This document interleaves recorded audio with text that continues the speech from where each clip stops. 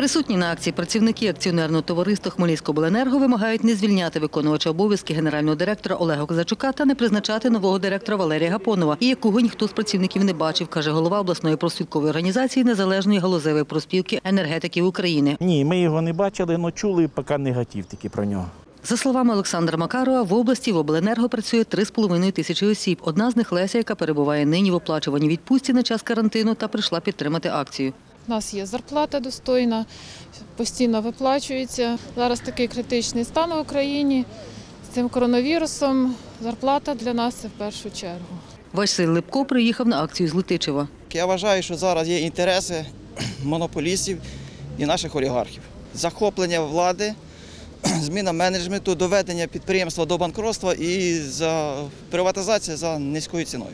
Поліцейські, котрі наглядали за дотриманням порядку на акції, порушень не зафіксували. Всі дотримуються соціальної дистанції, всі в засобах індивідуального захисту, тобто порушень карантинних вимог, встановлених е, постановою Кабінету міністрів України, наразі немає.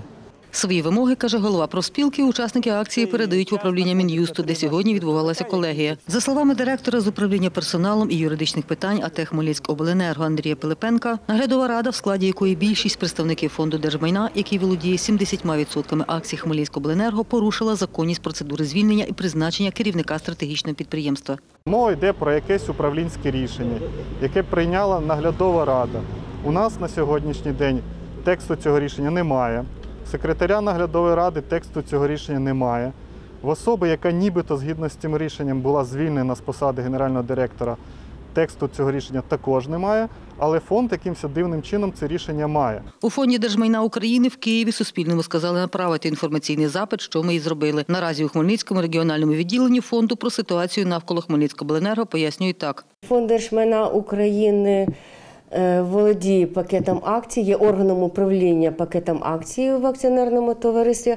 Але, на жаль, ми на місцях е, я не володію жодною інформацією щодо будь-яких дій. Олег Козачук каже, зміна керівництва має відбуватися прозоро та на конкурсній основі. Щоб призначити генерального директора, відповідно має відбутися прозорий конкурс, і після цього погодження Кабміну і призначення нового керівника.